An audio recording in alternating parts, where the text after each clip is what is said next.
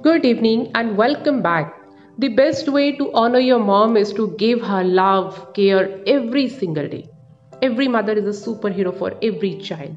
Unfortunately, due to lockdown, stationery shops are closed and it is very difficult to arrange uh, crafting materials like uh, colors, papers, charts to make uh, different different cards, photo frames for your mother. Let your mother know how much you love her. Here are some questions which the teachers can give their students to know how much care and love the students their mother. So you can give your students to answer the questions like question number 1. Why do you love your mom? Write any 10 reasons. Question number 2. How do you help your busy mother at home? Write any 5 points. Next question is why is your mother the best person in your life? Write any 5 reasons.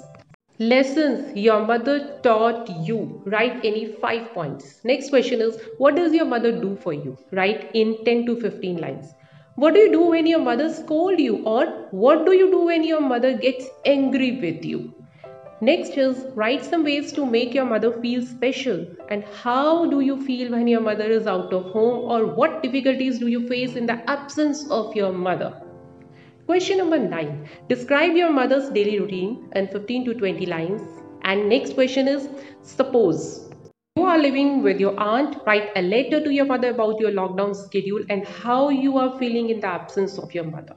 So these are the questions you can give to your students to encourage them to express their love, their care, their feelings for their mothers. Thank you for watching this video and I will be back soon with the next useful video. Thank you.